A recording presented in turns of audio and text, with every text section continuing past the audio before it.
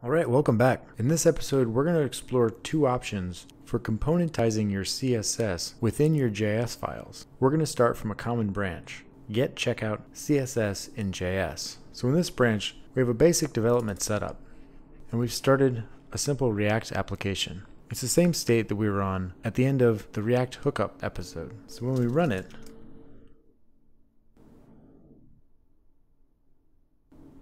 we see that we have a clickable counter. When you click it, it increments. Alright, now the first kind of CSS we want to get into is the one that comes prepackaged with Webpack's CSS loader. So here in the CSS loader definition, we can add a series of options. We add a query object to give our CSS loader some options. The first option is modules true. Now modules true is all you need. And that'll give you the ability to do something like this. If you wanted to import, so let's take this CSS out of our main.js. We have an unstyled web page now. And instead, let's import that.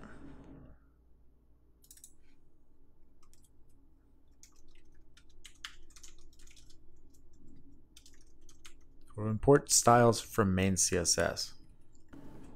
And the way this works is you still use class name like normal, but now you use styles and then the name of the class you want to import. So in this case, I'm going to say have a counter class. So down here, if you make a counter, we can give this a change, like we'll say text decoration underline. And now we can see it's pulling in the CSS. Now it's changed the class name to something that looks like a hash.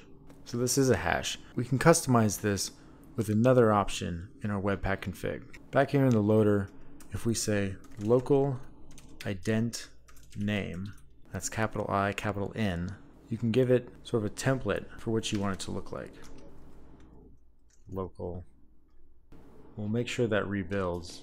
And then we reload this, we see that the class name is no longer undecipherable, right? It's main, which is the name of the file, main CSS, and local, which is the class name, counter.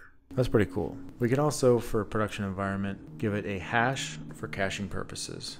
And the hash is something like hash, you can say 4 if you only want 4 of the hash numbers. You can say base 64, and then do only 8, whatever you want to do. So that's going to look like, it's going to look like this right? So we have the first eight. You have best of both worlds. You have the file it comes from, the class itself, and its cache expiry hash. So this is basically the BEM syntax. If you did something like this, this would be the BEM syntax. And it's very easy to set up using just the CSS loader.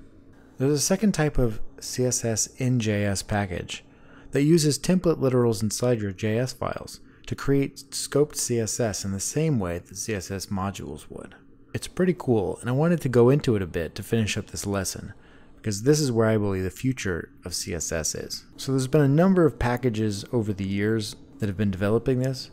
The one that's currently on top is called Emotion. So let's npm install Emotion. Now let's npm run dev to get our server started again. Now inside counter.js, we can import CSS from emotion. And CSS goes inside the brackets. Now right below that, but above the class, let's create a new variable, class name. We'll say it equals CSS. And then we'll put two backticks at the end of CSS. Now this is an ES6 style of writing functions called the template literal. It behaves just like a normal template literal would, where you can include variables using the dollar sign brackets notation. So if we had a variable red, now this CSS function will compile this into a class name and include the CSS in the header. So now we have a class name that we can insert. So let's take out this inline style here. We'll say class name, class name. So now you see, once it reloads, we have a red counter. Cool.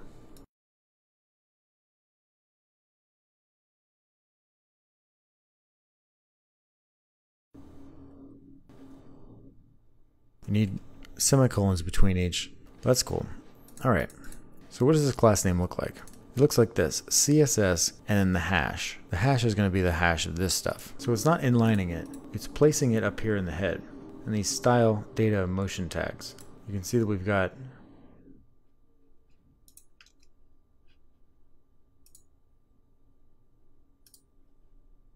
So we've got it separated out. So now we can use whatever we want as far as JavaScript goes. Loops, variables, other reference files, the database, almost anything. And emotion can go even further than that. Let's say we wanted to use props inside of our CSS. We need a couple more packages for that. So let's npm install React Emotion and Babel plugin emotion. Right on. Now inside of our Babel RC. So let's add that new plugin that we just installed.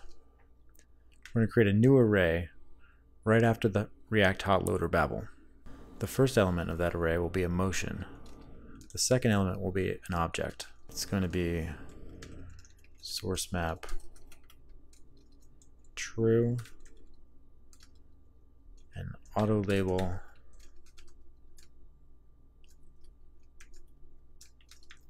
True. All right. Let's get it running again.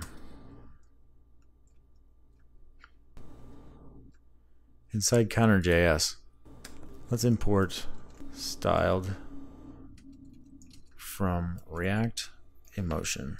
So what React Emotion lets you do is it lets you set up a component name to be used inside of your render function. And it lets you tie your styles directly to that component. Let's do an example here. Let's say we want to create something called fancy. It's a fancy component. We'll create it by calling styled. And that's just a function. It's going to take a string, which is the name of the element that you want to create. In this case, an h1. At the end of that, it's going to take the template literal backticks. So now we can put our CSS in here. We can say color hot pink. So now we have a component here that we can render just like anything else. So instead of the H1, let's say fancy.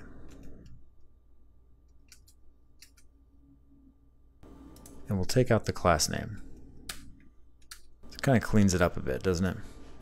Alright, so now you see the hot pink from right here. The semantics are a lot cleaner. Still works the normal way. So what does this thing look like? Looks like this. We see the style for hot pink but you can also use props inside your emotion components, if you will. So let's say we wanted to set this up so it changes color every time I click the button. And it's one color if it's odd or another color if it's even. So that's pretty easy to set up.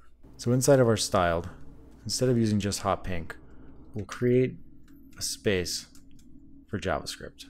And we'll say props, do a fat arrow function. So we can say props.wild if that's true, it's going to be hot pink. If it's not, it's going to be gold. So you can see already it's changed to gold because props.wild is not there. It's, it's false. Of course, you can set it. You can say wild. It goes back to hot pink. Pretty crazy. So now what if we want to click and change this? So in the return function, above here, let's just say is wild. And is wild is going to be equal to this state count modulus 2 equals 0. Now, if this number modulus 2 equals 0, that's synonymous with this is even. And if it doesn't equal 0, it's going to be odd. So this is a simple way to determine if this is an odd or even number in the count. Now we put is wild as the value of wild. It reloads. And now when we click this, we go back and forth between gold and hot pink, switching this class information right here. Back and forth, back and forth. So in the header, it's going to define both colors and it's just going to switch the CSS class every time I click it. It's going to switch it on the class itself. It's a pretty cool way to do it. All right. So using this setup, you can see there's a lot of places for optimization. You can have any props affect any style you put in here. You can have them animate that way. You can have a lot of things happen. So we have more chances for customization in our CSS. And in production, this stuff is going to be bundled into a separate CSS file. So there's not a lot of inlining. There's just these class names. And even though they render out uh, with long class names here, it doesn't pollute your source code. Your source code can be very semantic. All right, so in this episode, we introduced two ways to do CSS in JavaScript. We used CSS modules, which are just options on the CSS loader itself, um, naming the classes in such a way. The other one required a little more setup, but not too bad. It was the emotion package. We added it to our plugins and imported it from emotion and then set up these really nicely semantically named CSS wrappers around our function. If you need to catch up, git checkout CSS in JS final. That's it for now. Thank you so much for watching, and I'll see you next time.